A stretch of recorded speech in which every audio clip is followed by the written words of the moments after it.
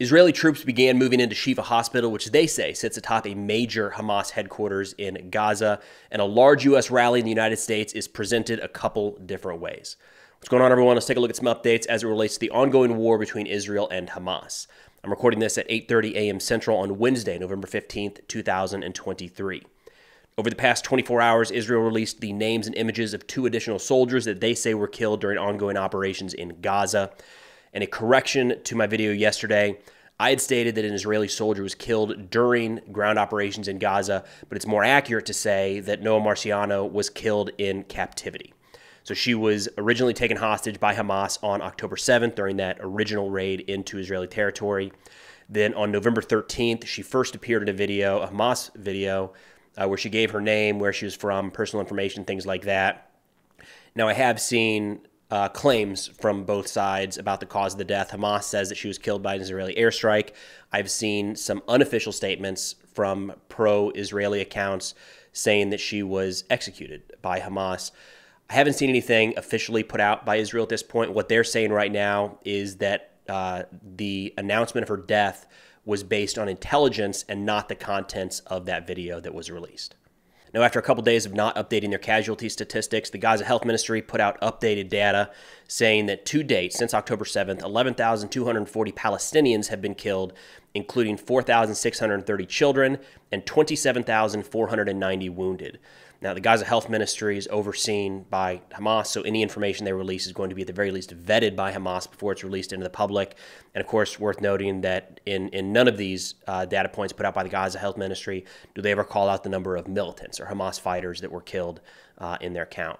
Additionally, in the past 24 hours, Hamas says that they destroyed 22 vehicles and killed nine Israeli soldiers during the operations in Gaza. Again, as mentioned in previous videos, I've not seen the, the videos or images to support the claim of an additional 22 vehicles destroyed. Now, shifting over to the situation on the ground, looking at a map put together by War Mapper on Twitter. Israeli forces have now certainly completed their link up between forces moving into Gaza from the north and the south. And as of now, they have elements all around Shifa Hospital and have begun moving inside. Now, the Shifa hospital operation is likely to be the focus for both sides for quite a while here. And there's one point of clarification I think is worth making. As more and more people have started talking about this facility, I have heard people refer to it as sitting atop the Hamas headquarters.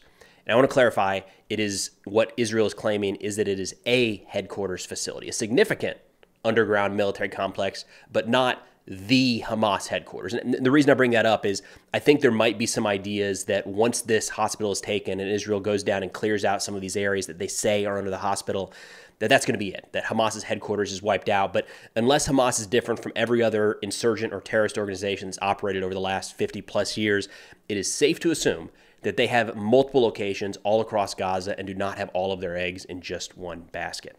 Now, in terms of the actual operation at Shifa, the Israeli Defense Forces say that their teams going in that are mostly military personnel, right? They're trying to clear this area, but they also include doctors and Arabic speakers. And they say that as those initial elements approached the hospital, they encountered explosives and small arms fire.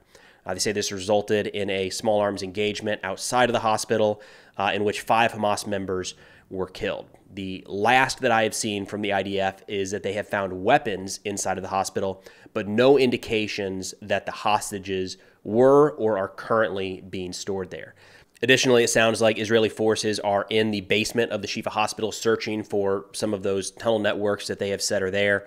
Uh, as of now, as of this recording, I've not seen any images or videos released by Israel uh, to substantiate the claims that they've been making about the hospital for, for some time here. Now, from the Palestinian side here, we've got a Telegram channel called Gaza Now. They put out, quote, Hours have passed since the Israeli occupation forces stormed Al Shifa Hospital in Gaza. The Israeli occupation soldiers stormed all the patients' rooms and broke into the hospital's basement without finding anything except medical equipment. The incursion is still continuing amid heavy gunfire by Israeli occupation soldiers without any clashes, in addition to tanks firing shells from time to time. Israeli occupation soldiers are trying to harass the doctors because they refuse to deal with them after failing to find any evidence indicating that the Palestinian factions are using the hospital for military matters. So we're gonna, you know, so Hamas is, is sticking to kind of their side that there's nothing underneath the hospital. Israel is sticking with their side that there is a major facility under the hospital. I imagine one way or another, we're gonna get the the full answer here shortly. Now, it's worth noting that this operation kicked off shortly after an announcement put out here in the United States, which I think a lot of people viewed as a green light for Israel to move forward into Shifa. National Security spokesperson John Kirby said yesterday, quote, I can confirm for you that we have information that Hamas and the Palestinian Islamic Jihad used some hospitals in the Gaza Strip, including Al Shifa, and tunnels underneath them to conceal and support their military operations and to hold hostages.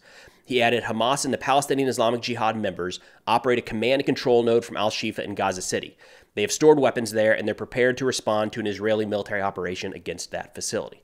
Now, when pressed on how the United States knows that and, and where that information came from, where that intelligence came from, uh, Kirby said they're not diving into those details. They're not going to provide that information publicly, which I understand how that can look on the surface, but that's kind of standard as well. When, when you have a piece of intelligence like that, it, it's not automatic to just release it into the public. It could burn sources and, and prevent you from gathering similar intelligence in the future. So, um, again, we'll, we'll see as Israeli forces continue movement through the hospital. Now, Hamas put out a statement as well saying that, quote, we strongly condemn and reject the claims made by the Pentagon and the White House, which repeat the lies propagated by the Zionist occupation that Hamas uses hospitals to hide captured Israeli soldiers or as command centers. They added, We reiterate our call for the United Nations to establish an international committee to inspect all hospitals in Gaza and expose the falsehoods in the occupation's narrative, a narrative endorsed by its ally Washington. The United States bears direct responsibility for enabling Israel's genocidal war on Gaza.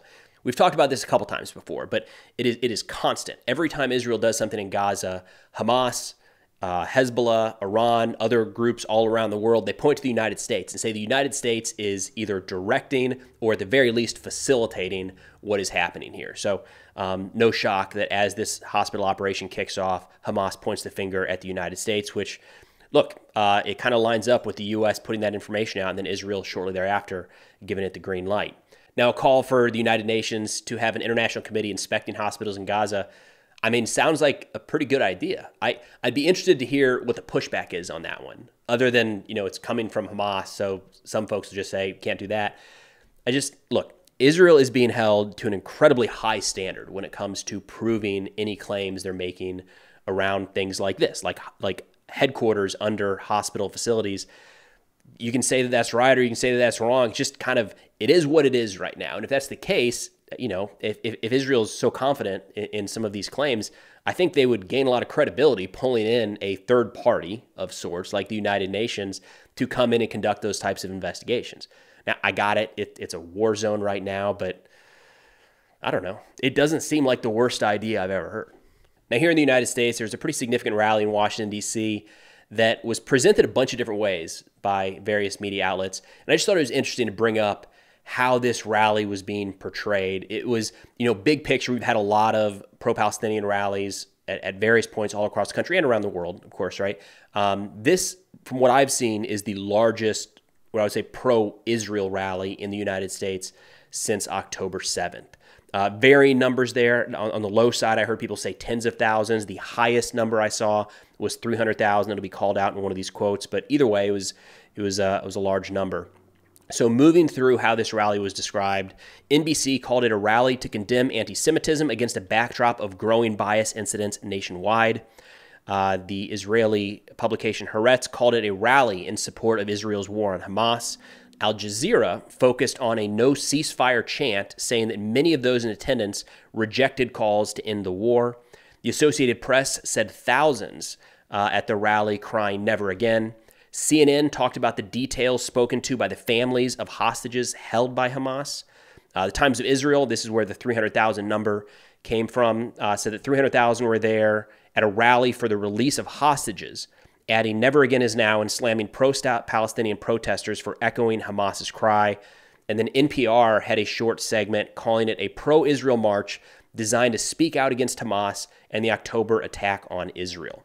The reason I wanted to highlight this was just to show how a singular event in the United States was covered differently by so many different outlets. And the majority of these are, are US based publications and organizations. And they're not drastically different in what they're reporting. It's just the headline. Each one of them tends to focus on a different aspect of what the rally was actually about and what the people there were in support of or against. Now, shifting outside of Israel for a moment, the Houthis in Yemen announced that they will target any Israeli ship in the Red Sea, and they put out this graphic warning Israel of that threat. And yesterday, the Houthis also announced that they launched a series of drones and missiles towards Israel. Uh, this was one of those announcements where they put it out and then nothing happened. Like there were no interceptions announced, there were no strikes announced. Uh, and the Houthis have done this a couple times where they've put out announcements of, of launches, but then there's nothing that follows. Uh, but it does sound like, uh, you know, 24 hours later, it does sound like at least one of those incoming missiles or drones was intercepted by Israel over the Red Sea and successfully shot down. Now, shifting over to Syria, uh, the U.S. released footage of the strike they conducted a few days ago in retaliation for attacks on U.S. forces in Iraq and Syria. This is the footage here. This comes alongside a new story, or just kind of an updated tally, is actually the better way to put it, saying that now nearly 60, 60 U.S. troops have been injured across 56 total attacks uh, in Iraq and Syria since October 17th. But that's all I got for now. Now, we made some changes to the Substack. It now houses ad free, sponsor free videos in addition to the weekly sit reps. Link is in the description below. But thanks for watching. I'll see y'all next time.